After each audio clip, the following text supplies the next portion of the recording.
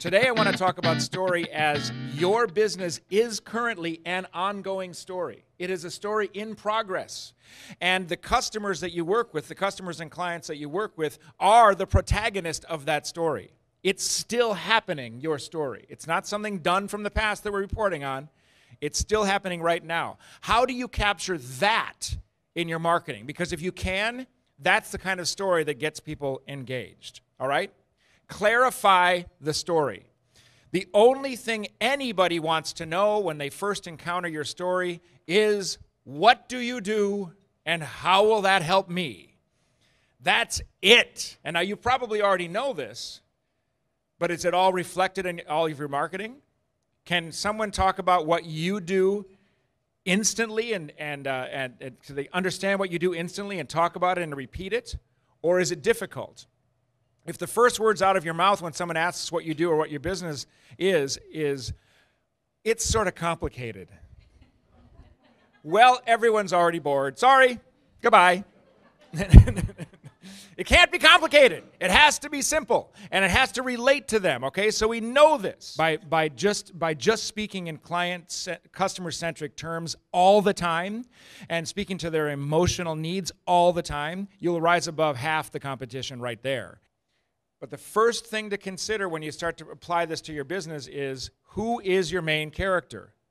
And of course, that is who is your main customer, who is your key client, and try to zero in on really who they are. Like what what position is it? Who's the main person that you're aiming for to engage with your services? And what do they want?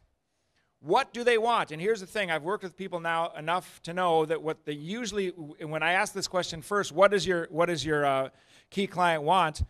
They just want it cheap and fast.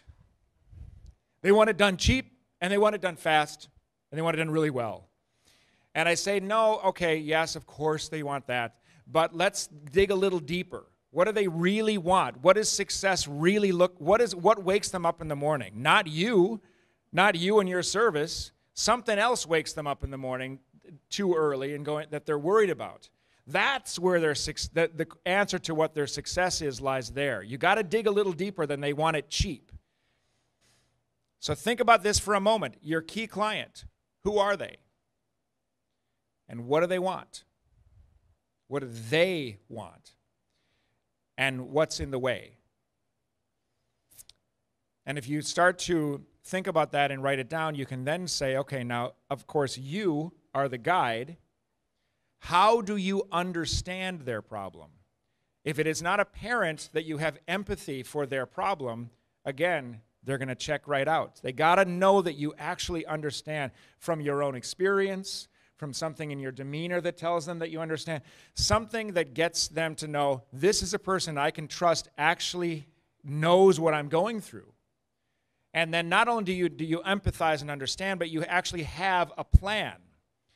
So you have the authority to say, now I understand and I know how to get you from where you are right now along to where you want to be, which is success.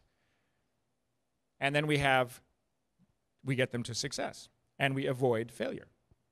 Okay, so in a nutshell, that's how the same exact formula that works for Jaws or Romeo and Juliet or any classic story that really has stood the test of time, that same formula can apply to how you see your whole business, not just the history and not just the case studies.